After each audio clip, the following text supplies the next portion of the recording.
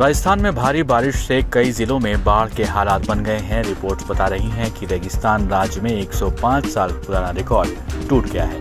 अरब सागर से उठा तूफ़ान बिपरजॉय गुजरात के रास्ते भारत पहुँचा, जिसके बाद राजस्थान के कई जिलों में भारी बारिश देखने को मिली है। मौसम विभाग की माने तो ऐसा पहली बार हो रहा है, देश में मानसून से पहले राजस्थान में बाढ़ जैसे हालात बन गए हैं। राजस्थान के अजमेर में 105 साल पुराना रिकॉर्ड टूटा है जून के महीने की बात करें तो साल 1917 में एक ही दिन, यानी 17 जून को 119.4 मिलीमीटर बारिश दर्ज की गई थी। मौसम विभाग ने बताया कि रविवार 18 जून 2023 से 19 जून की सुबह साढ़े आठ बजे के बीच अजमेर में 131.8 मिलीमीटर बारिश होने से ये रिकॉर्ड टूट गया है। मौसम विभाग ने कोटा बारह सवाई, माधेपुर के लिए मंगलवार को रेड अलर्ट जारी किया था। मुख्यमंत्री अशोक गहलोत ने बाढ़ से प्रभावित इलाकों का जायजा लिया है।